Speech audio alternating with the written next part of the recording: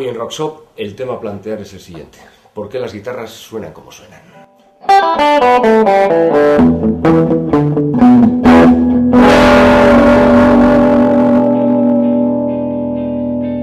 La finalidad de la pregunta que hemos planteado hoy, pues como siempre viene a ser un poquito didáctica.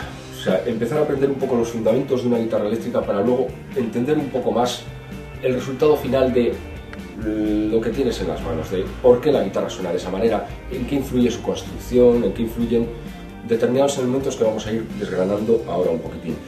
Una respuesta tonal, dicho de una manera bastante simple, es el resultado final de la conjunción de todos los elementos que componen una guitarra y que, cuyo resultado va a ser un sonido X.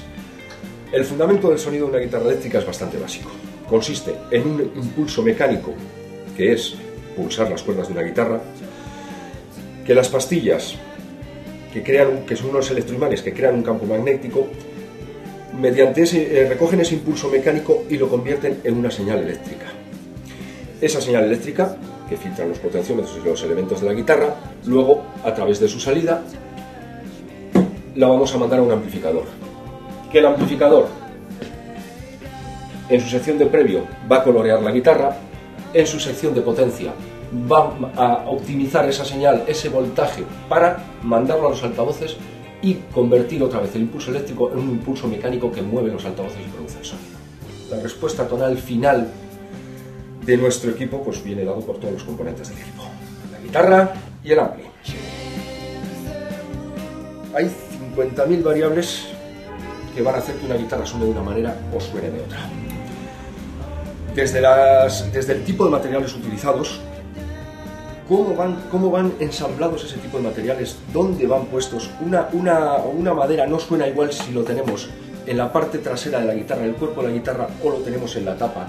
La conjunción de diferentes maderas también da eh, sonidos diferentes. Unas maderas aportan unas cosas a otras o le quitan unas cosas a otras. Pues el resultado final del sonido de una guitarra viene determinado básicamente yo lo simplifico en cuatro, en cuatro componentes. El primero es la construcción, la construcción y los materiales utilizados para ello. La construcción del cuerpo, la construcción del mástil. Lo segundo es la electrónica, tanto el tipo de pastillas como la electrónica que, la, electrónica que se utiliza.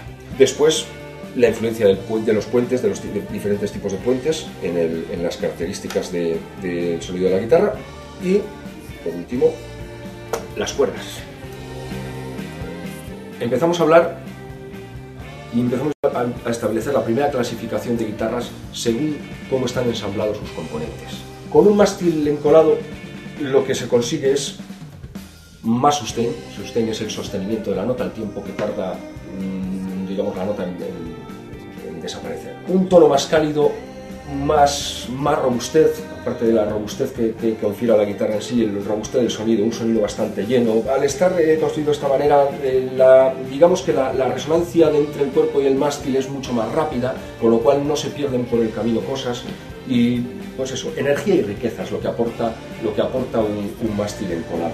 Bien, el segundo caso son los mástiles bolt-on o atornillados. Este tipo de construcción realmente facilita mucho la, construcción de la guitarra, porque estamos tratando dos elementos por separado y a la hora de trabajar tanto las rutas que lleva el cuerpo como sus acabados y su, tratamiento, pues es mucho más fácil tanto en el mástil como en el cuerpo.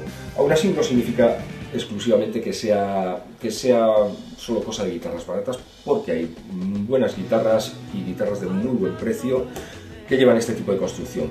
¿Qué nos aporta o qué nos quita el mástil de, el mástil atornillado. Evidentemente tiene un carácter totalmente diferente a las guitarras de, de, mástil encolado, puesto que al tener eh, dos piezas diferentes, la transmisión de la energía entre una, entre una parte y otra se ve de alguna manera interrumpida. Con lo cual, hay frecuencias que navegan mejor por, todos este, por este tipo de cambios de superficie y hay frecuencias que manejan peor. O sea que ciertas frecuencias pueden ser un poco perezosas estas guitarras siempre se han asociado pues eso, a, un ataque, a un ataque muy nítido, muy claro, a unos buenos agudos, pero quizá pierden, por otro lado, ciertas frecuencias graves o medios graves. Como seguiremos contando eh, más adelante, todo este tipo de cosas se, corrigen de alguna manera, los fabricantes lo acaban corrigiendo con otros elementos de la, de la, guitarra para dar al final el sonido deseado, porque evidentemente nadie quiere tener una guitarra que le falte algo. Y aquí tenemos un bajo para explicar el tercer caso de construcción de una guitarra, un bajo en este caso, que es neck through. Neck through es mástil a través del cuerpo.